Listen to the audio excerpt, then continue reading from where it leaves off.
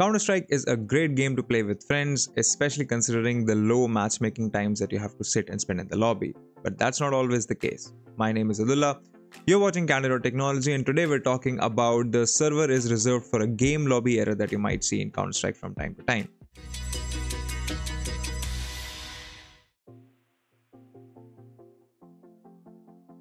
The first thing that we're going to check in such cases is to see if uh, the Counter-Strike servers are online. So what I'm going to do is uh, head over to Steam Stats, steamstat.us, sorry.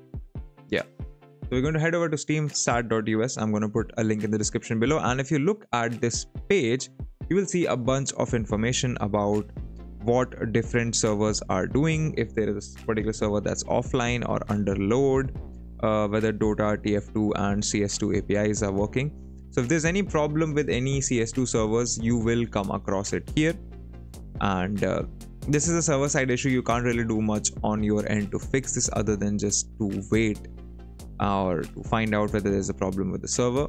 In this case, there is no problem with the server, so I should not get this issue. In case you are getting it, another thing that you can try is verifying your game files. Now to do this, head over to Steam click on your library.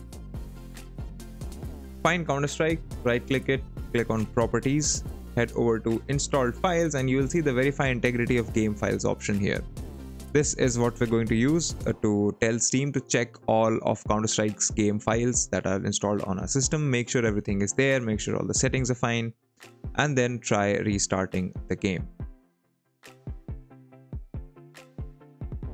if these two things did not work for you uh, your pretty much your only option out is to either sit and wait in the queue for a while sometimes the errors automatically resolve themselves because this happens when you're trying to connect to a server that has already been assigned to a particular game lobby in such cases you will get this error so you can either wait for the game to find you another server or you can just rejoin the queue uh, so it might take you a little bit longer to find a match but you'll not run into this kind of error twice or thrice in a row.